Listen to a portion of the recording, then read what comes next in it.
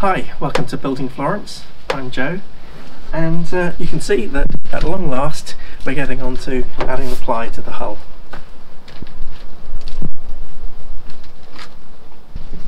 Now I've cut slight grooves loosely in the plywood here just so that it fits in and then I'm offering up the boards so that I can draw the line that allows these pieces to fit together. Oh, so messy. I'm conscious there's a lot of rough work in here, but I think the final finish is going to be a lot better than the sort of frame components. I'm using a pair of clamps back here just to secure this in place. I will epoxy under here in this line then towards the front I'm going to use a stitch and glue technique where I'm putting ply to ply. This board I'm going to cut to that line to the quarter section and I'm also going to cut it here along this bit because I know what that line is but I, I'm going to wait on making a final decision about this line until I know the angle of the ply that's going to go there to form the uh, sort of freeboard section. One of the important questions you might have is how is this going to get tied down? Well, using the stitch and glue technique, I'm essentially going to take these cable ties or zip ties, drill along the line of this the midsection here that I want to uh, attach to. Two holes either side, and then put the cable ties in. That's going to hold it down enough for me to epoxy between the holes. Very nerve wracking.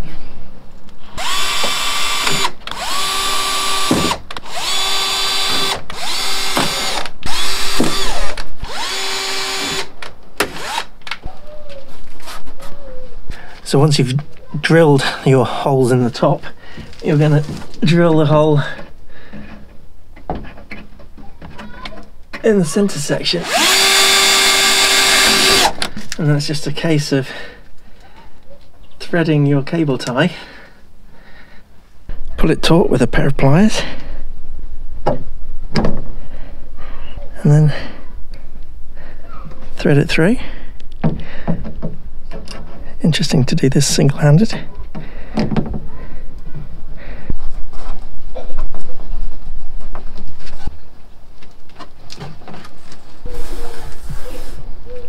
So that's this line done.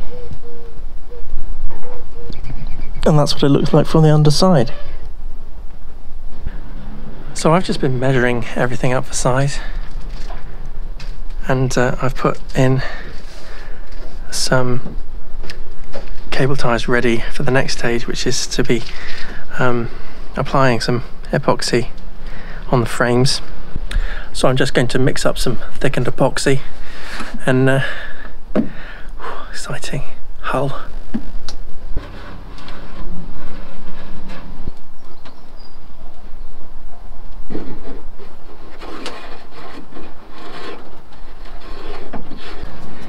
That was so messy.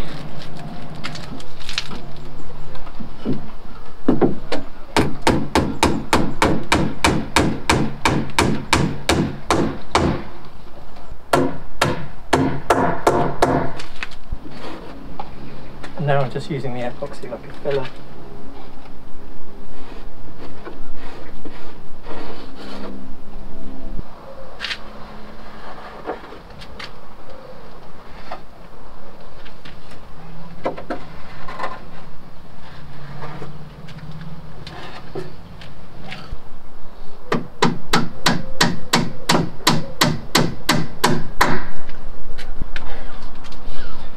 By putting these steel, really cheap steel nails in, I know I'm going to be affecting the longevity of the vessel.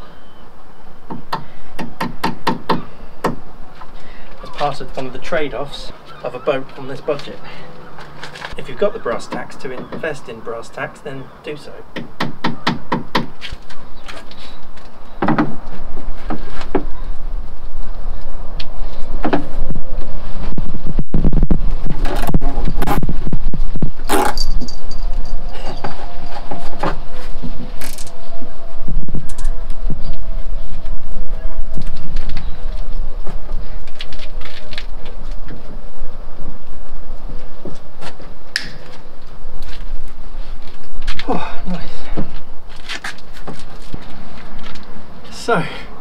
covered in epoxy, bits in my hair. Probably what, quarter of the hull? Now with board on it. Let's see how far we get tomorrow.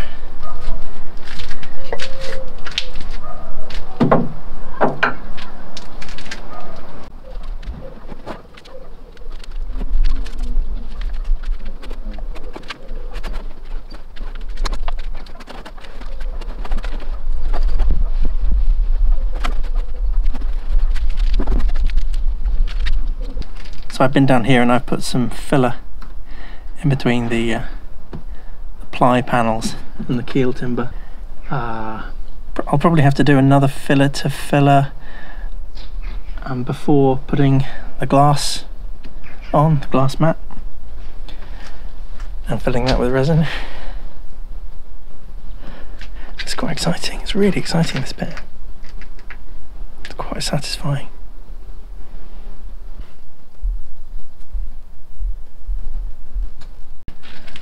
Wow, it's super hot. So after a not insignificant amount of faffing, we've got uh, a second set of panels on the other side. So the boat's been turned around so I can work on this side a bit more easily. Um, I've still got the uh, lower or upper sections of the, the boat to do. I'm just going to clean up the edges of this panel and then epoxy this in place. It's been brought to my attention and I kind of knew this already that this point here is going to be a bit too weak so what I'm going to be doing is inserting a, a floor from the inside stiffened with epoxy just to um, just to strengthen that portion of, of the hull. Should be alright. I just wanted to show you here sort of one of the problem areas is that we've got this gappy section towards the bow which I'm going to have to put a lot of time and attention into fixing. Um, if you're trying to do something like this from home then I suggest an alternative approach to this area because this is a, a bit compromised. I think possibly this, ang this angle is simply too steep.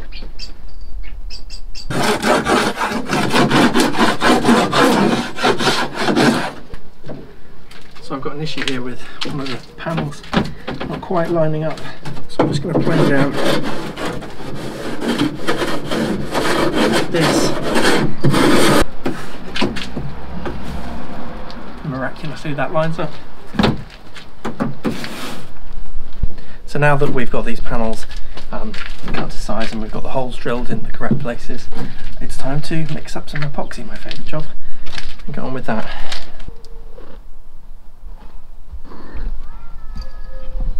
I wanted to talk a little bit about how I'm feeling at this point. The boat is coming along nicely, the hull is um, taking shape. I think we're on day 11 or 12 now, and I, I think originally I thought this was going to take two weeks, and it's just this is, I do this so often with projects. I think that they're going to take an amount of time, and then the further you get into the details of doing a job, the, the harder it becomes, and the more you've got to correct for problems. We don't always know how these things are going to work out, do we? I think probably I'm still a fortnight away.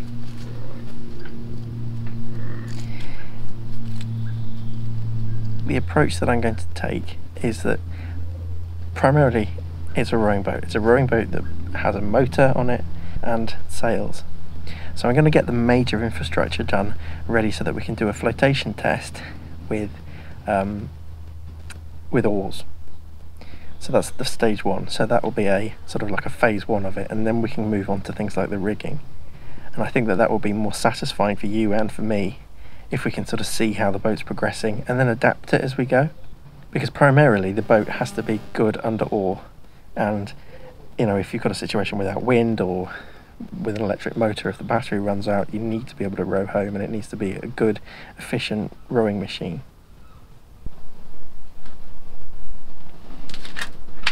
So as you can see, this is getting epoxied together now.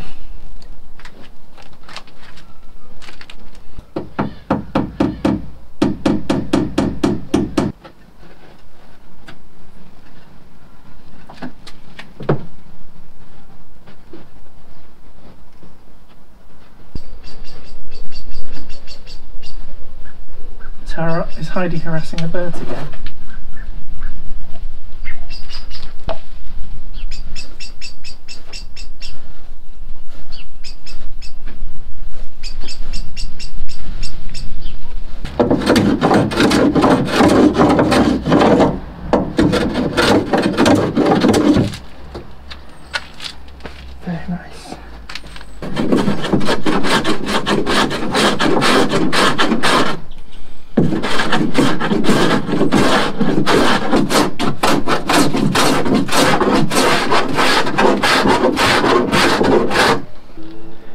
Just clamped up this panel um, to measure out the freeboard. Take a pencil. By measure, I mean draw some lines around the actual thing. I mean it's easier just to offer, offer it up to what exists.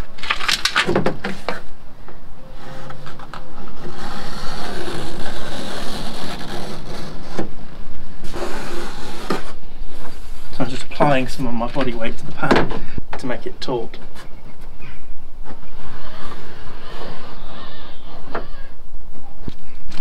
And then you've got the outline of the panel that you're going to cut out. It looks like, thankfully, this board is going to be big enough to put two panels on for the freeboards either end. They won't be identical to each other, so I'll measure them up individually freeboard panel on.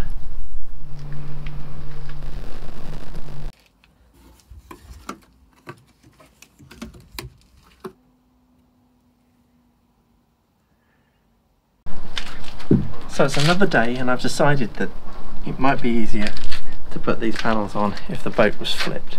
I think the easiest thing to do is to go under and lift it off.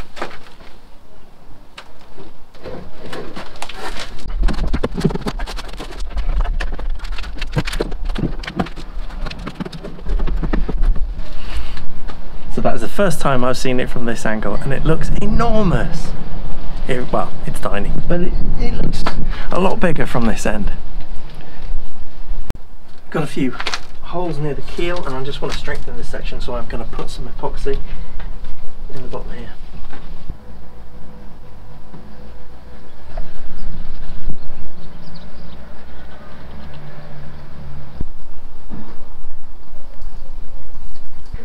So this is the port side freeboard panel which is now uh, gluing up after it's uh, been zip tied into place.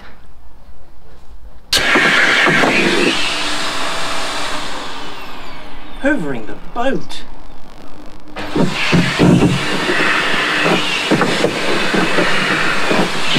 So I filled in a little bit of filler at the bottom there and I've also, some of it was seeping through so I strengthened the tape at the bottom um, use some better tape. Hopefully a bit more waterproof or epoxy proof. Um, and I've cut out these batons. Hopefully these are going to stiffen the bottom of the boat.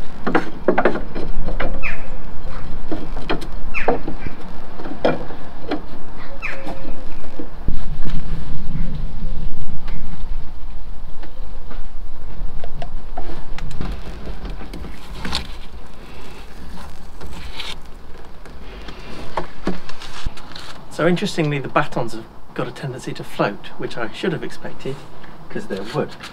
Um, so it should be quite obvious by now that we're at the stage where things are going to start to get quite messy. Um, loads of drips from the epoxy. We've got the polyurethane glue sticking out in uh,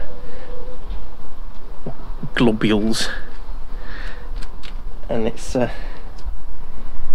it's going to take a bit of work to, uh, it's going to take a significant amount of sanding to get that cleaned up, but um, we'll give it our best.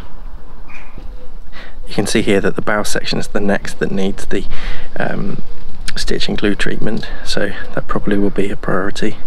Um, I've got a slight issue in that I measured earlier and that at the top here, that's actually the four inch ply is actually about an inch short, so um, I think there's going to have to be... Oh, mate, I'll turn that into a feature. Someone miscalculated the uh, dimensions there. But that'll be a, a nice decorative feature at the bow, somehow. we've got some heavy rain forecast for the next few days, so I've just put the tarpaulin over. It's going to delay progress. Um, I can't put the rest of the panels on and do some of the epoxy work just until we're going to get some dry weather. So pitfalls of not having a garage or an indoor space to work in, but um, I've got some videos to edit up and hopefully um, next time we talk we'll be uh, continuing with the stitch and glue and uh, getting the uh, epoxy applied to the uh, to the joints. So from Heidi and I it's time to say goodbye. So wet! It's so wet!